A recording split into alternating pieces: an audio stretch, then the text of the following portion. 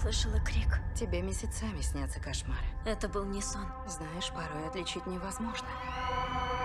Нет, я слышала, мам. Обратилась бы ты к копам. Что я им скажу? Здрасте, офицер, я знаю, кто убийца, мы с ним соседи. Что ты задумал? Где Сьюзан Миллер? Зачем вы пришли? Идите в соседний дом. Кто именно заперт в том доме? Полиция! Охотится. Он настигает. Он мучает. Он убивает.